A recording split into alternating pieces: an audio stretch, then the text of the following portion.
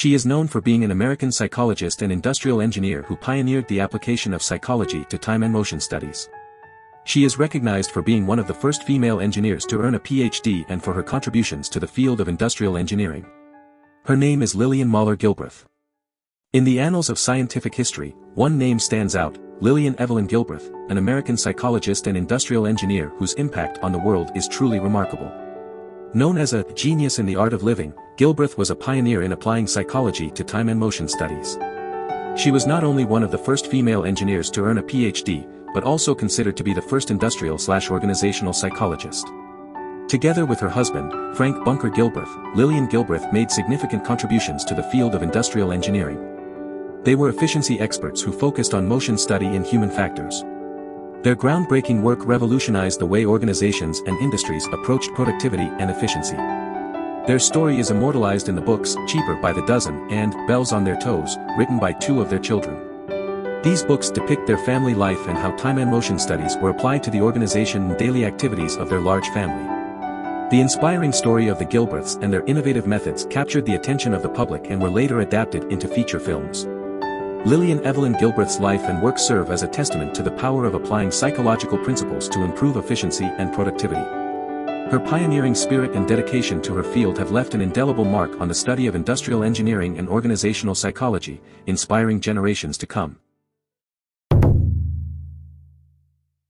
Lillian Gilbreth, a remarkable woman in the field of scientific management, made her greatest scientific discovery in the study of time, motion, and fatigue. Together with her husband, they formed a consulting firm called Gilbreth, Incorporated, where they revolutionized the way work was done. Even after her husband's passing in 1924, Lillian continued to lead the company and carry on their groundbreaking work. The Gilbreths were pioneers in time and motion studies, and they developed their own methodology called the Gilbreth system. Their motto, the one best way to do work, became synonymous with their approach. They were passionate about finding the most efficient way for workers to perform tasks.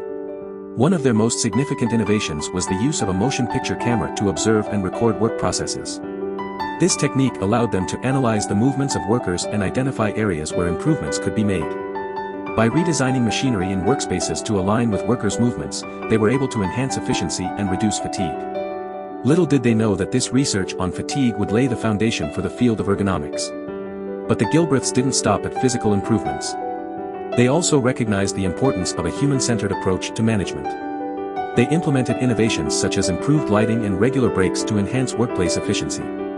They also introduced ideas to promote psychological well-being, like suggestion boxes and free books for workers. Lillian Gilbreth's career in time, motion, and fatigue study was truly remarkable. Her dedication to improving work processes and creating a better work environment made a lasting impact on the field of scientific management. Her legacy lives on in the principles and practices she pioneered, continuing to shape the way we work today. Do you want to explore more scientists? Who do you want to see featured next? Subscribe and leave a comment below to let me know. I'll see you in the next video.